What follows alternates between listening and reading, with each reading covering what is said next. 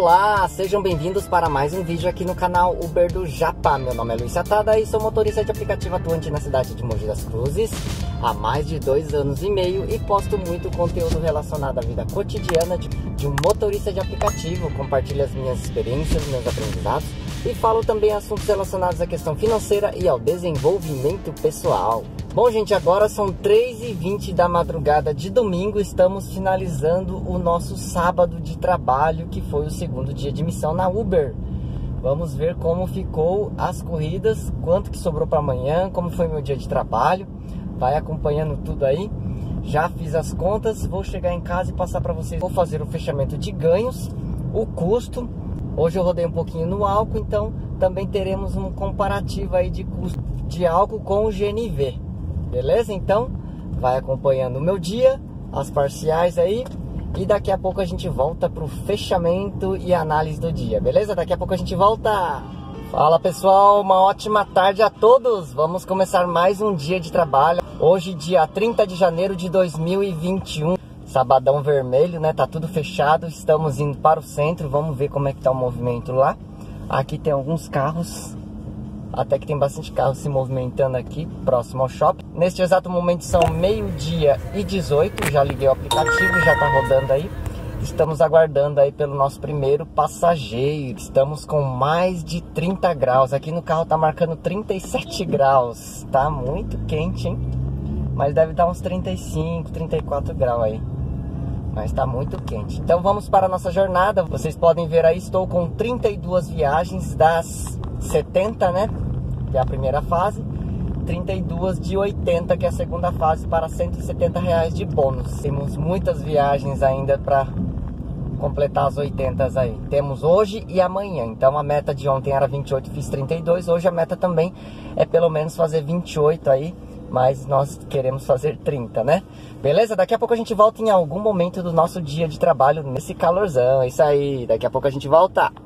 Bom, gente, voltamos. Agora são 2 horas e 55 minutos. Vamos para uma parcial aqui para eu almoçar e depois à tarde nós iremos dar continuidade, beleza? Então vamos lá. Pelo aplicativo da Uber aí, como vocês podem ver, eu realizei até agora 7 viagens e estou com um ganho de R$ 59,58. Estou online 2 horas e 42 minutos, que vai dar uma média de R$ 22,06 por hora. Para ser um sábado tá fraco, mas pelo fato de estarmos em fase vermelha, até que tá bom. Vamos continuar nesse ritmo e à tarde a gente volta aí no comecinho da noite para dar continuidade, buscar a nossa meta aí no segundo dia de missão da Uber, beleza? Daqui a pouco a gente volta depois do almoço, é parte 2, beleza? Daqui a pouco a gente volta. Bom, gente, voltamos. Agora são 17 horas e 31 minutos. Estou ligando aí o aplicativo da Uber Vamos dar continuidade no segundo tempo do dia de trabalho. É, já estou almoçado, já finalizei o vídeo aí que vocês assistiram anteriormente. E vamos continuar o nosso dia de trabalho. E tá tocando aqui a primeira 4,90 Destino de das Cruzes. Então tocou a primeira viagem. Vamos continuar o nosso trabalho aí. 17h32. Vamos dar início ao segundo tempo aí. Vamos a jornada da noite. É, vamos para a jornada da noite. Vamos atrás da nossa meta. Sabadão que parece domingo, né? Vamos continuar aí. Vamos ver que hora nós conseguimos bater a nossa meta. Beleza? Daqui a pouco a gente volta em algum momento do nosso dia de trabalho. Vamos lá! Bom, gente, voltamos. Agora são 22 horas e 26 minutos. Vamos ver como estão os ganhos nessa noite. Vamos abrir aqui o aplicativo da Uber. Até agora, R$ 205,53. Até agora, 19 viagens. Vamos ver quanto tempo estamos online. Até agora, 7 horas e 13 minutos online. Vamos fazer a conta aqui. 7 horas e 15 eu vou colocar aqui. 7 horas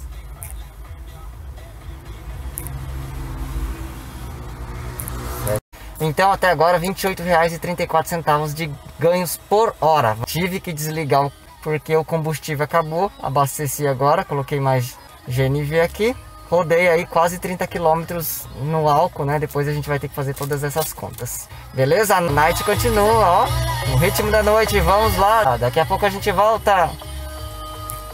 Bom, gente, voltamos. Agora são 3 horas e 46 minutos. Vamos fazer o nosso fechamento de ganhos e passar o custo aí do dia de hoje. Hoje tem bastante cálculo porque tem um álcool também que eu precisei utilizar porque o cilindro acabou no meio da viagem. Então, vamos para os números. Primeiro, os ganhos, né? Abrindo aí o aplicativo da Uber, eu realizei hoje 33 viagens com um ganho total de R$ 318,99. Eu fiquei online aí 11 horas e 36 minutos. Então temos R$ 27,49 de ganhos por hora.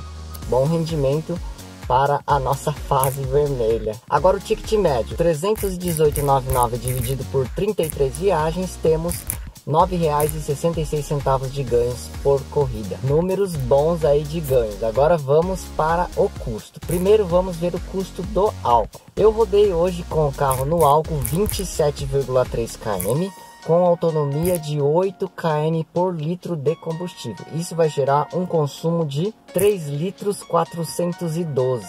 Aqui em Mogi está R$ 3,19 o litro do álcool, pode acreditar.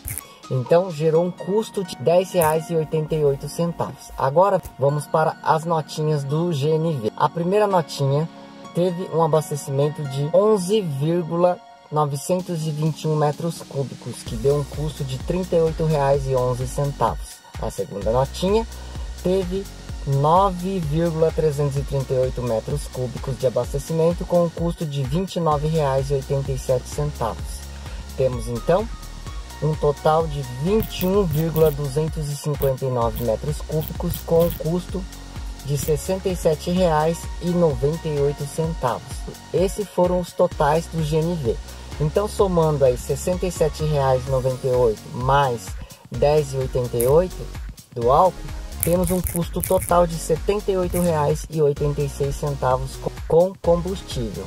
Subtraindo esse custo do ganho, temos um líquido de R$ 240,13. Agora, vamos à, última parte. Vamos para a autonomia do GNV e também o custo por km no GNV e no álcool. Primeiro, a autonomia. A autonomia do álcool, vocês viram, foi 8 km por litro. No cilindro, nós teremos que dividir aí. Eu rodei com o GNV 244,5 km com um consumo de 21,259 metros cúbicos. Isso vai dar uma autonomia de 11,5 km por metro cúbico. Esse foi o rendimento no no GNV.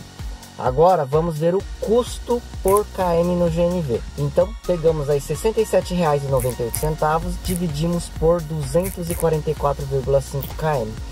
Temos aí então 27 centavos por km. Agora vamos aproveitar e ver no álcool como ficou o dia de hoje, mesmo que pouquinho, só para a gente fazer a comparação. Vamos pegar aí o custo de R$ 10,88 do álcool e dividir por 27,3 km rodados. Isso vai dar um custo de 39 centavos por km. Esse foi o custo do álcool.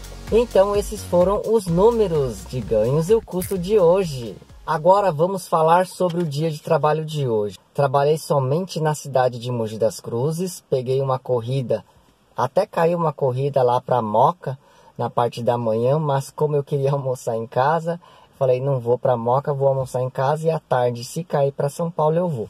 E aí eu acabei não indo para São Paulo, então só rodei na cidade de Mogi, um dia muito quente, muito quente mesmo, mas deu para fazer um bom trabalho aí, finalizando o dia com 33 viagens. Então amanhã só vai ficar faltando 15 viagens para completarmos as 80 para os 170 reais de bônus. Então amanhã dá para trabalhar tranquilo, com uma grande perspectiva de pegar uma corrida para São Paulo. Mas vamos trabalhando que o resultado vem. Quem trabalha com foco, com dedicação, sempre vai ter um resultado maior no final do dia. Agora falando dos números, né?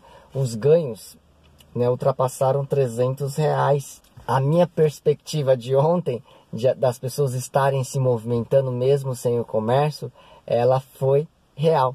Né, o que eu esperava aconteceu. As pessoas se movimentaram bastante, um indo na casa do outro, até porque não tinha comércio nem nada aberto, então não tem para onde ir. Tem que ir um na casa do outro e esse movimento na cidade aconteceu. À noite teve muito movimento nos bairros, praticamente só foi movimento de bairro para bairro, sem corridas longas, exceto duas viagens que eu peguei é, mais longas, três viagens mais longas que eu peguei. Duas delas, inclusive, foi no, no álcool. Por que eu estou comentando isso? Porque se a gente analisar o, o custo do álcool e o custo do GNV, deu uma diferença de 30%. Né? Só que as condições que eu trabalhei nas corridas com álcool foi condições muito favoráveis à economia de combustível. Eu peguei a Mogi Dutra, então só peguei rodovia, boa parte eu peguei rodovia, e quando finalizei essa corrida, eu já peguei uma outra corrida mais longa também, de 20 e poucos minutos, e que eu peguei também rodovia. Então foi muito favorável à economia de combustível.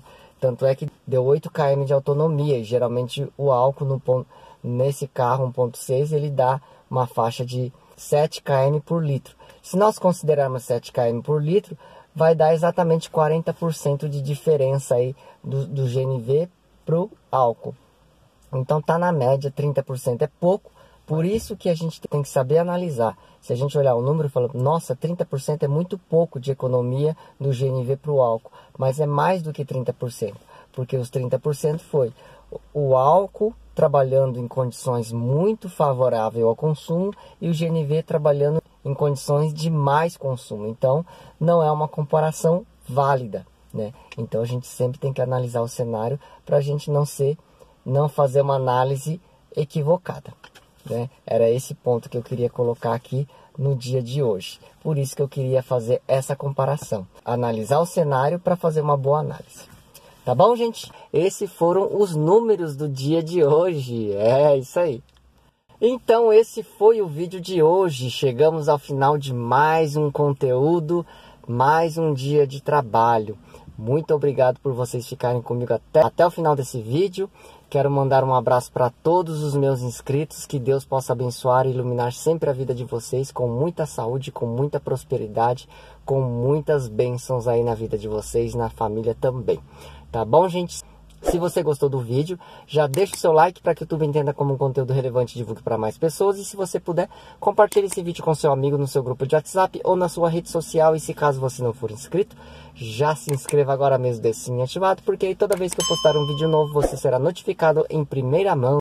Então, para você que está em casa, um ótimo descanso, aproveite e curte esse momento, porque ele é único e não tem volta. E para você que está na rua, está na luta, está no trabalho, um ótimo dia para você com muitas viagens abençoadas, com um grande resultado no final do seu dia, voltando para casa com muita alegria, com muita saúde e com muita segurança sempre. Tá bom, gente? Um grande abraço, fiquem com Deus, excelente viagem e ganhos a todos e até o próximo vídeo.